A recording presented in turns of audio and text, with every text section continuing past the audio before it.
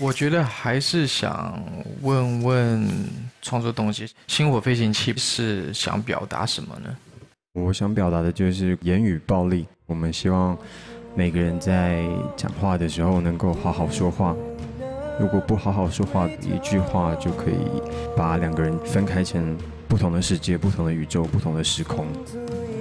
刚开始弹琴的时候，曾经有前辈跟我讲说：“你这辈子大概就停留在这个水准，你永远不可能进步。”所以我那时候就选择了离开了那个团队。后来跟那位前辈就没有办法再有交集了。他当初没有激励你，可能也没有现在的你，对吧？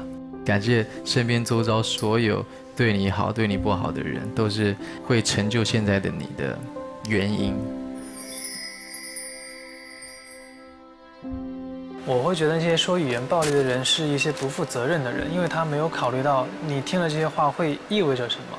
所以我本身不会理那些讲言语暴力的人。如果你接受不了，你也不要说我要回击，受到伤害你不要想着再去伤害别人，我觉得这是我们要做到的。